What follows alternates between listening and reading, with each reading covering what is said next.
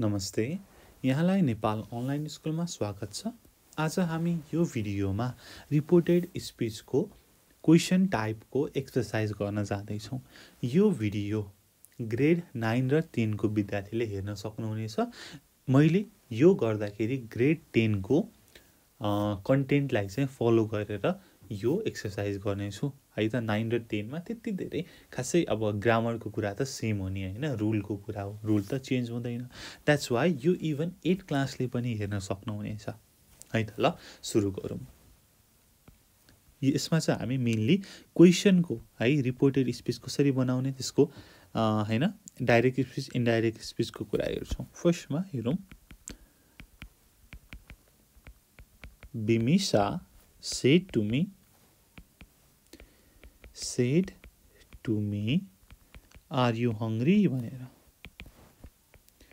Are you hungry अब यसको के हुन्छ? तपाईँले हाम्रो पार्ट टू हेर्नुभएको छ भने हामीले पार्ट टूमा सबै रुलहरू हेरेका छौँ। है Bimisa Bimisa आक्स्ट me if I was hungry अब यसमै थोरै कुरा गरौँ। है। त हामीले क्वेसनलाई डाइरेक्ट टु इन्डाइरेक्टमा लेख्दाखेरि सेट टुलाई आक्स लेख्छौँ अथवा इन्क्वायर, अथवा want to know, wanted to know to know है इन्क्वायर्ड भनेर लेख्छौँ। र यस्तो क्वेसन हो भन्ने कुरा फर्स्टमा हेर्नु पर्यो। यस्तो क्वेसन हो भनेदेखि इफ़ अर वेदर लेख्छौँ। र डब्लुएच क्वेसन छ?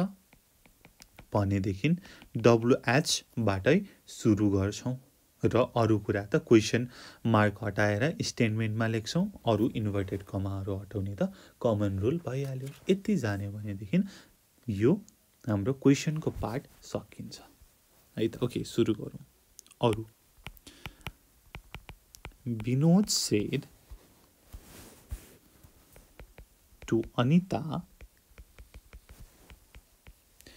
are you from England are you from England भनेर भनेको छ। अब सुरुमा यो क्वेसन यस्तो क्वेसन हो कि होइन भनेर जान्नु पर्यो। हो त हो। भनेपछि यहाँनिर अब यो हटेर यहाँनिर के भन्नुभयो इफ़ अथवा वेदर र सोधेको छ। अब इन्क्वायर्ड पनि भन्न मिल्यो आक्स्ट पनि भन्न मिल्यो। अहिलेको लागि आक्स्ट भनौँ न।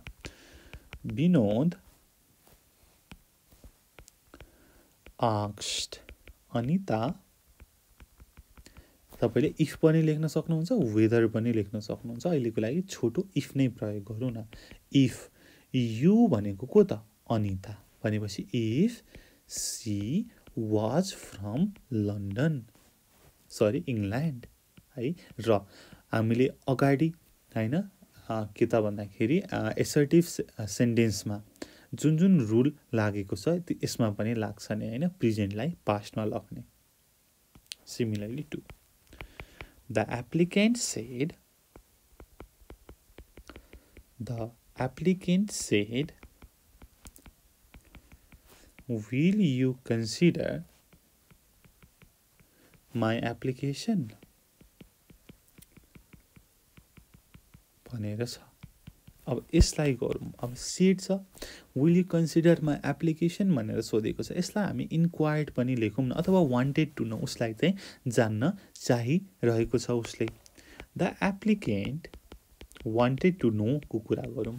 Wanted to know wanted to know अब यो फर्स्टमा यस्तो क्वेसन हो कि होइन त हो। अब यसको एन्सर हेर्नुहोस् त will you consider my application भनेर सोध्यो भने कसैले yes I will consider your application अथवा no I won't consider my application yes र नोमा एन्सर आउँछ।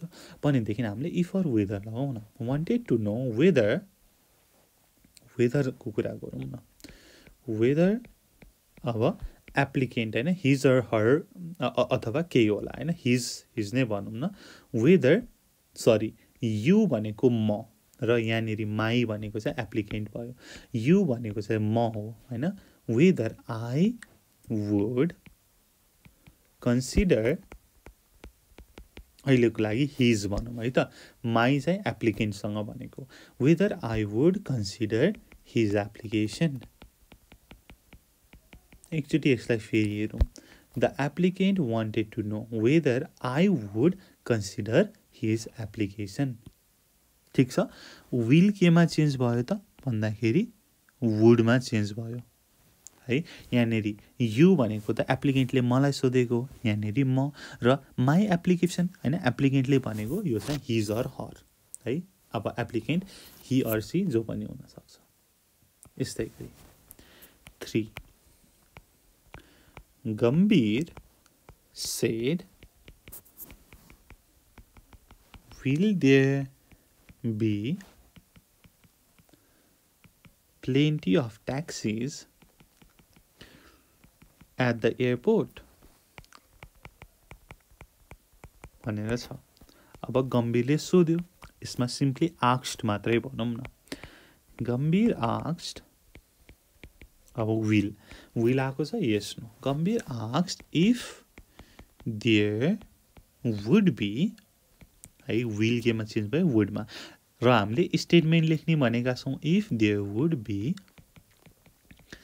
plenty of taxis at the airport at the airport okay four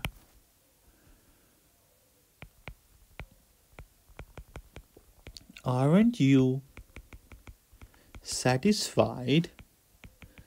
With the decision के तिमी डिसिजनबाट सन्तुष्ट छैनौ?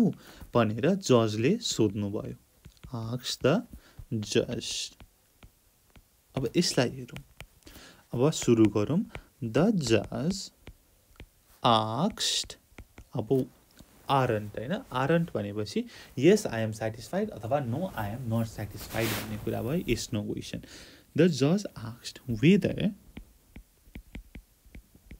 अब जजले कसलाई सोध्नु भएको हो त? मलाई। यु होइन? मलाई। भनेपछि यहाँनिर वेदर आई अब वाज सेटिस्फाइड ठिक छ? आर केमा चेन्ज हुनुभयो पास्टमा ठिक छ? आईसँग was whether I was satisfied with the decision अथवा if I was satisfied with the decision पनि भयो दुवै ठिक छ। Satisfied with the decision five Rajan asked me. Rajan asked me, Are you going mm, with me to the theater? फेरि यो के भयो त यस्तो क्वेसन भयो भनेपछि राजन आक्स्ट मी asked me whether अथवा if if you भनेको त म if I am sorry if I was going if I was going with यहाँनिर मी भनेर छ। मी भनेको को त राजन हो। वेदर अथवा if I was going with him to the theatre यसरी गर्न सकियो। सिक्स द चिल्ड्रेन सेड चिल्ड्रेनहरूले भने can we eat this can we eat this हामी यो खान सक्छौँ भनेर बच्चाहरूले भने. ठिक छ? अब यसमा क्यान वी इट दिसको एन्सर के आउँछ त? Yes you can eat this अथवा नो यु कान्ट भनेपछि yes no question the children आक्स्ड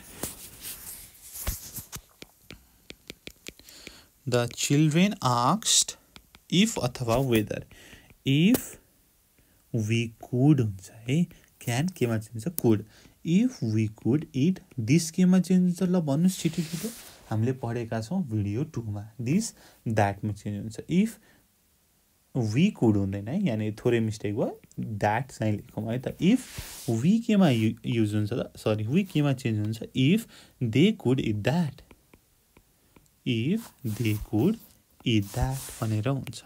okay, यस्तै गरी सेभेन नम्बरमा।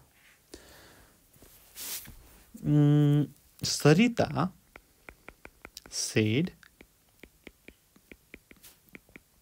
did they announce did they announce ceasefire भनेर छ।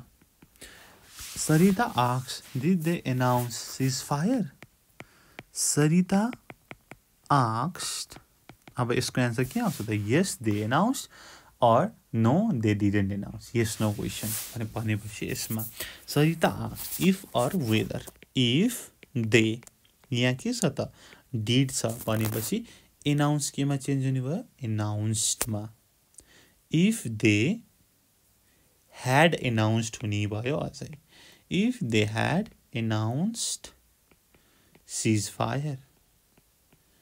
If they had announced ceasefire, it. Mr. Lama said, Lama said, who bought, who bought this chair here? भनेर भन्नु भन्नुभएको छ। Mister लामाले भन्नुभयो यो चेयर यहाँ कसले किनेको? भनेपछि यस र नोमा एन्सर आयो त आएन। यो के भयो त? डब्लुएच क्वेसन भयो। डब्लुएच आउने बित्तिकै डब्लुएचलाई लेख्ने अनि स्टेटमेन्ट लेख्ने भन्ने कुरा गरेका छौँ। ठिक छ? मिस्टर लामा आक्स्ट आक्स्ट हुलाई जस्ताको जस्तै? हु अब यसमा हु ह्याड बोट किन ह्याड बोट त भन्दाखेरि यो केमा छ त भब टूमा छ भनेपछि सिम्पल पास्ट सिम्पल पास्ट केमा चेन्ज हुन्छ त पास्ट पर्फेक्टमा मैले पिपी लेखेँ है त। Who had bought this chair भनेर भनेको छ। दिस केमा चेन्ज हुन्छ? This द्याटमा who had bought that chair र अर्को एउटा। हियर छ। हियर केमा चेन्ज हुन्छ? दियरमा who had bought that chair there होइन पढ्न पनि रमाइलो छ Mr. Lama asked who had bought that chair there. Okay. Nine. Nine. Mm, the young lady, young lady said to the mother,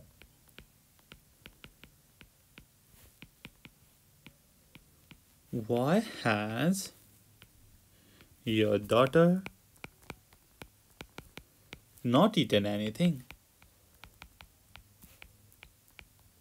Not eaten anything. अब यसलाई enquired भनौँ न the young lady inquired young lady inquired to the mother अब WH छ भनेपछि डब्लुएचलाई डब्लुएचलाई राख्ने why अब your daughter छ। यर डटर भनेको कसको? मदरको डटर भनेपछि her daughter why her daughter अब स्टेटमेन्ट लेख्नु पऱ्यो ह्याज छ ह्याज केमा चेन्ज हुन्छ? ह्याडमा why her daughter had not eaten had not eaten anything had not eaten anything हो यसरी हामी गर्छौँ है त okay ten Jaya said to you Jaya said to you अथवा जया सेट टु ज्योति भनौँ न। जया एन्ड ज्योति होइन नाम पनि मिल्छ। Jaya said to Jyoti where are you going for your holidays अब मैले यति लेख्ने बित्तिकै तपाईँलाई एन्सर त आइसक्यो होला। होइन? भन्नै पर्दैन अब त। जया अब सेट टु केमा चेन्ज हुनुभयो आक्स्टमा आक्स्ट ज्योति। ज्योति वेयरको वेयर नै। यहाँनिर where are you going for your holidays भनेको छ। वेयर आर यु गोइङ भनेपछि युले कसलाई भनेको त? ज्योतिलाई भनेको। वेयर सी अब माथि केमा छ त? प्रेजेन्ट कन्टिन्युसमा क्वेसन छ भनेपछि पास्टमा हुने भयो। Where she was going for your केमा चेन्ज हुनुभयो ज्योतिको सी होइन? सीको her where she was going for her holidays यसरी गर्नुपर्छ। है त। ओके इलेभेन अब अझै दुई तिनवटा गरौँ। Mr. Shrestha. Mr. Shrestha said, How much will it cost? How much will it cost? ठिक छ हाउ भनेको के हो त डब्लुएच क्वेसन हो हो है हाउ मच भनेको पनि डब्लुएच क्वेसन हो भनेपछि मिस्टर श्रेष्ठ है यो एस क्यापिटल हुन्छ मिस्टर श्रेष्ठ इन्क्वायर्ड भनौँ न इन्क्वायर्ड हाउ मच विल केमा चेन्ज हुन्छ वुडमा how much it would cost how much it would cost ठिक छ? यसरी गर्नुपर्छ। यहाँनिर मैले एउटा हेर्न चाहेँ है त? ल ठिकै छ केही छैन। अर्को अब दुई तिनवटा गरौँ न धेरै होइन ल। Twelve. She said which notebook is mine which notebook is mine भनेर भनेको छ डब्लुएच क्वेसन भनेपछि उनले सोधिन् भनौँ न। सी सेड सी सेड भएन सी आक्स्ड भयो। सी आक्स्ड विच नोटबुक नोटबुक अब इज केमा चेन्ज हुने भयो? वाजमा which notebook mine was which notebook mine was अथवा यसलाई माइन त भएन यहाँनिर। होइन? माइन त हुँदै भएन। माइन चाहिँ चेन्ज हुने भयो त सीको अब के हुन्छ? होइन? सीको possessive form she आक्स whether which notebook her was which notebook her was okay similarly thirteen Lakshmi asked, What do you want to do? What do you want to do? Lakshmi asked, What do you want to do? भनेपछि अब लेख्नु पर्यो लक्ष्मी आक्स्ट अब what you अब माथि want छ भनेपछि केमा चेन्ज भयो वान्टेडमा what you wanted to do भनेर ठिक छ? ओके। अब यसमा मुख्य जान्नुपर्ने कुरा के आयो त? तपाईँलाई के लाग्छ त भन्दाखेरि ओके। फर्स्टमा यस नो क्वेसन हो कि होइन? डब्लुएच क्वेसन हो कि होइन भनेर हेर्ने। ठिक छ? यस नो क्वेसन हो भनेदेखि इफ अर वेदर लेख्ने र पछाडि स्टेटमेन्ट लेख्ने। ठिक छ? स्टेटमेन्ट लेख्ने है अनि फुल स्टप लेख्ने। डब्लुएच क्वेसन हो भने डब्लुएच लेख्ने होइन टेन्सहरू चेन्ज गर्ने स्टेटमेन्ट लेखिदिने। सक्यो। है त? अब यसमा केही बुझ्नु भएको छैन? भनेदेखि कमेन्ट गर्न सक्नुहुनेछ है? अथवा डिस्क्रिप्सनमा रहेको फोन नम्बरमा फोन गरेर पनि मैले यो बुझिनँ भनेर भन्न सक्नुहुनेछ है त? ल त्यति भन्दै मैले यो भिडियोलाई यहीँ टुङ्ग्याएँ र आउने भिडियोहरूमा हामी अरू अरू पनि यो एक्सर्साइज सल्भ गर्नेछौँ भन्दै thank you so much for watching until next time goodbye keep learning जय चन्द्र सूर्य Peace.